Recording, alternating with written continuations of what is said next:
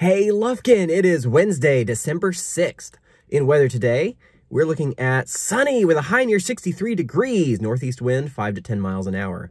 Tonight should be partly cloudy with a low around 40 degrees, east wind around 5 miles an hour becoming south after midnight.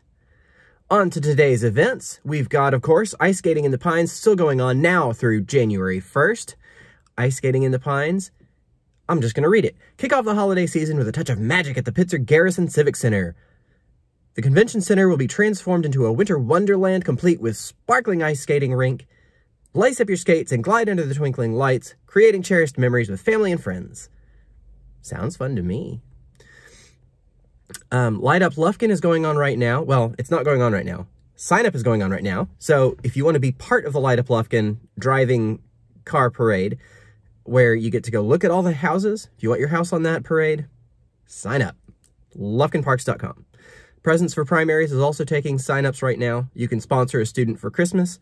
Find out more at lufkinparks.com. All right, other events. We've got the Angelina College Visual Arts Student Exhibition still going on right now. Students enrolled in Leanne Alexander's basic drawing, design, and painting courses will display their semester of accomplishments in art media spanning from charcoal to pa oil painting. It's free. 8 to 5 a.m. is their hours for the gallery, so you can go do that. Santa Mail, still going on at First Franklin Financial. First Franklin, there's a alliteration there. Uh, you can bring your little ones by to write a letter to Santa and see the excitement on their faces as they receive a reply back in the mail. So that could be fun. Little magic of Christmas there. Festival of Trees going on at the Museum of East Texas. Every year, during the holidays, the Museum of East Texas transforms into a brightly colored forest lined with rows of trees covered in festive holiday decorations. The community comes together to put on the Festival of Trees as each tree decorated and displayed is sponsored by a business, family, group of friends, or individual. Bring the whole family and wander through the festival. It opened on November 20th, and it's going through January 5th. It's open seven days a week, they say. Are they open Monday? I don't know. Check out the museum's website to find out more on that. All right. Huh. I don't know what this is. 5.30 tonight, an organ for St. Cyprian's. Uh, St. Cyprian Episcopal School and Ellen Temple producer invite all to the premiere of this 30-minute film. Oh, okay. An organ for St. Cyprian. Cyprian's. So that's at the Pines Theater tonight, 5.30.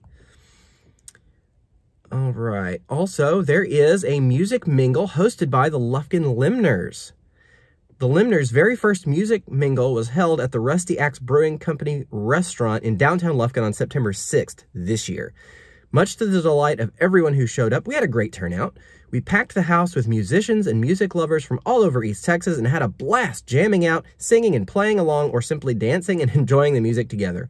All levels of talent and experience were present to play, forming an organic orchestra of different instrument styles and voices that filled the restaurant and spilled over into First Street for passersby to enjoy. We are so looking forward to this next one and hope to see you jamming with us on today, 7 p.m. A little further afield, out of town, uh, you can get live music with the Irwin family. Uh, the Irwins started singing as soon as they were each able to talk, appearing over 270 dates a year with their mother and father, who have been in full-time evangelism for 45 years. They have been traveling full-time their entire lives, singing in concerts, revivals, conferences all across the country. Three of the four siblings, Keith, Cody, and Chris, performed as a trio until 2013, when the group announced that their little sister, Katie, it's a lot of K names. That's okay, my family has a lot of J names. Rock on, guys uh, Katie would be joining the group full-time to sing on the stage, making them a mixed group. Anyway, that's going to be in Broadus at Trinity Baptist Church tonight at 7 p.m. if you're into that sort of thing. So that is it for our events. You can find more events at any of the calendar pages like cityoflufkin.com or lufkintexas.org, that's the chamber, or the uh, lufkindailynews.com.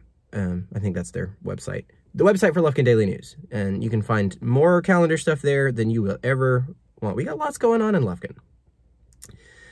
All right, going on to today in history.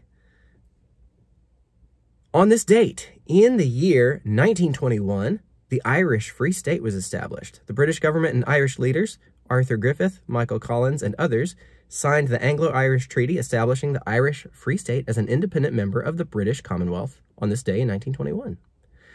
You can find out more history and information like that at Britannica.com. Again, I'm doing the show on my own. Nobody's sponsoring this. I'm just finding this information. It's out publicly available. You can go look it up yourselves. Thank you for watching.